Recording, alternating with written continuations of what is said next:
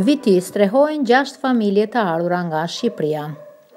Në një vendim të me një vendim të kryetarit të komunës Sokol Haliti, përveç që është formuar Komisioni Komunal për mbledhjen e ndihmave për Shqipërinë, është formuar dhe Komisioni Komunal për regjistrimin e qytetarëve të ardhur nga Shqipëria në komunën e Vitisë.